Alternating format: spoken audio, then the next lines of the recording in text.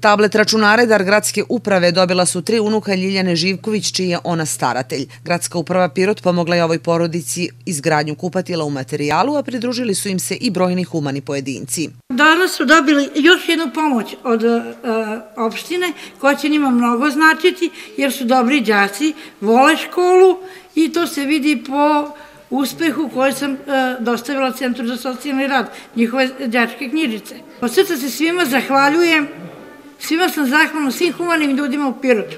Uručeno je 15 tablet računara deci bez roditeljskog staranja. Ovo je posljednja faza akcije u kojoj su donirana sredstva koja su prvobitno bila namenjena proslavi Dana grada i organizovanom dočeku nove godine na trgu.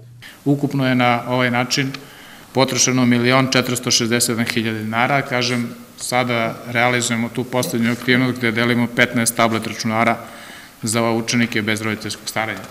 Ja vam se zahvaljujem mi vašim porodicama otprilike i za Vaskrs dajemo jednokratnu pomoć.